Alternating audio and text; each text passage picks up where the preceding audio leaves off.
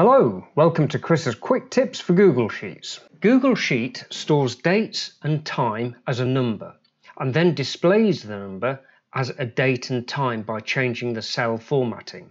For example, this cell, B5, equals the contents of the cell above it and equals the number 44050. I am now changing the formatting of this cell to the date format and you can now see that the cell displays the date 7th of August 2020.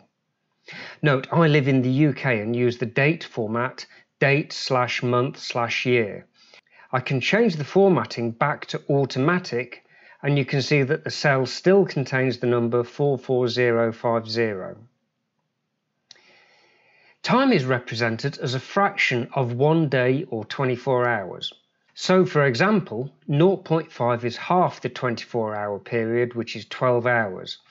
If I change the formatting of this cell to the time format, then you can see that the time is 12 hours, 0 minutes and 0 seconds, which is obviously midday and exactly halfway through the day.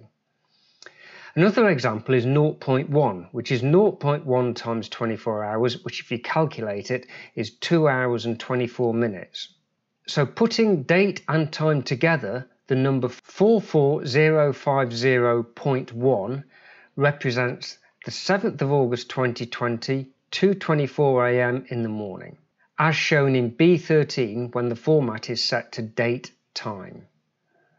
If the time number is changed to 0.5, then the date and time is updated to 7th of August 2020, 12 o'clock midday. At the top of this sheet, you will see that I have put a note in yellow. Unfortunately, every time I create a new sheet, the locale is set to the United States. This means that dates are in the US format of month slash date slash year. Since I live in the UK, I want all my sheets to use the date format, date slash month slash year. I have been unable to find a way of changing the default locale so that all new sheets are automatically set to the locale of the United Kingdom. I therefore have to remember every time I create a new sheet, I have to change the locale to the United Kingdom. I'm sure that Google will resolve this problem, but at the moment my only recommendation is that every time you create a new sheet, the first thing you do is to change the locale to your own locale.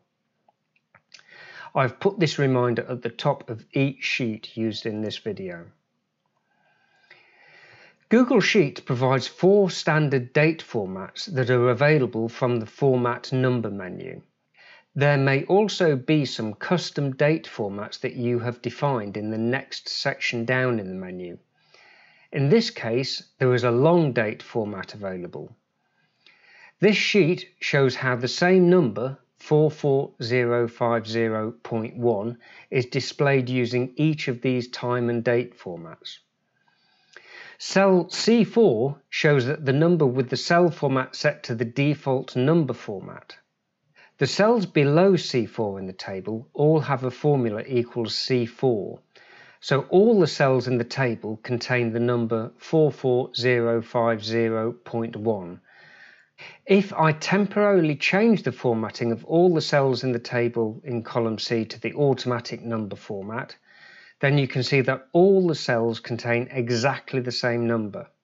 If I then click undo, the format of each cell returns to the original date time formats. If you want to change a cell to one of the default time and date formats, click Format number, and then click one of the four default date and time formats. This has changed the number in C4 to the date format. I've just hit undo to return the cell to the original format. The date format is the UK date, month, year format because the locale for this sheet is set to the United Kingdom. This is a date format, so the decimal part of the number, 0.1 in this case, is ignored since this represents the time during the day. The date and the month both have leading zeros so that they're always two digits for the date and month and four digits for the year.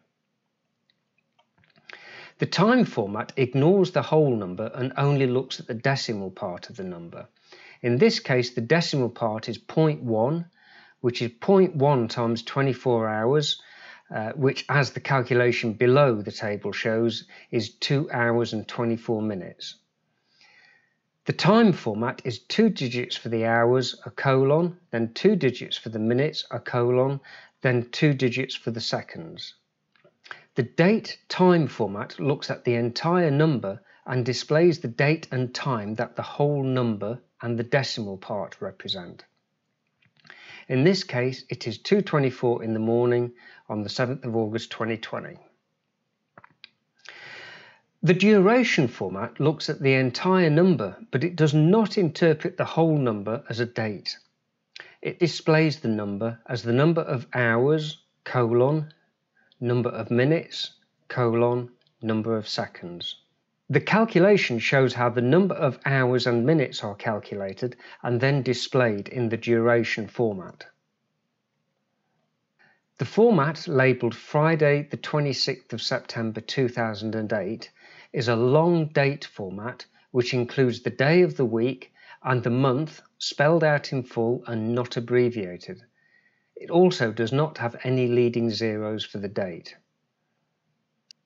It is also possible to define your own date format. Click on Format, then Number, then More Formats, then More Date and Time Formats.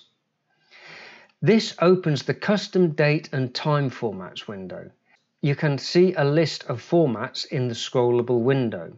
If the format you want is not in this list, click on a format that is close to your required format and then change that format. Let's click on this long date and time format.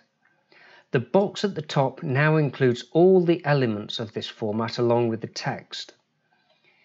You can click on any of the elements to see the list of all possible options for that element.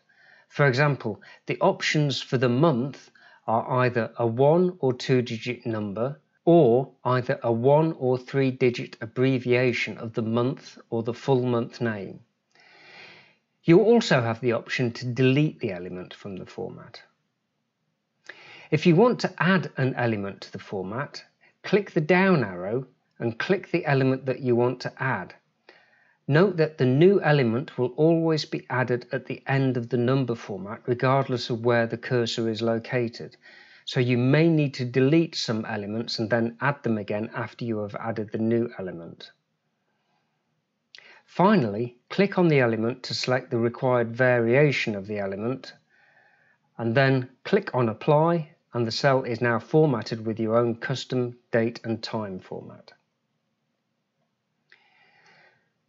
Suppose you want to enter a date into a sheet, then you could of course enter the date number into a cell and then convert that number to a date.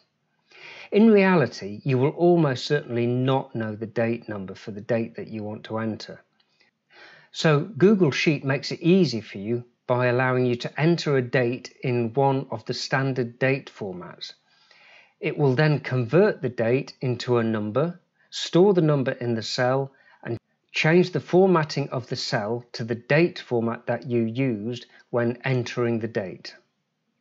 So if you type a date in the format date dash month, abbreviated to three letters, dash year, it will convert the date to the number 44050 and then format the cell to the date dash month dash year format.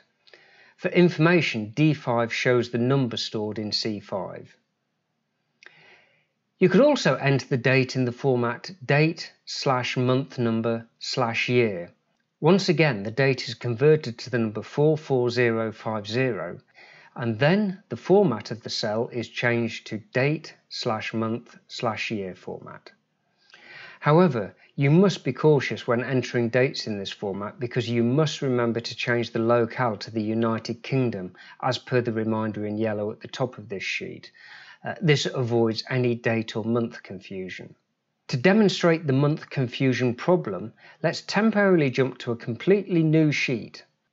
Let's suppose that when I set up this sheet, I forgot to change the locale to the United Kingdom so that the locale is still set to the United States.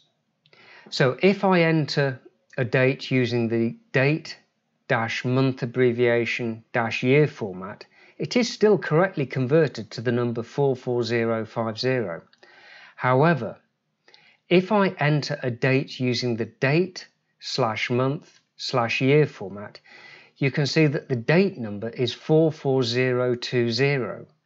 It's not 44050. This is because the date is interpreted as a US date format and is therefore interpreted as the 8th of July 2020.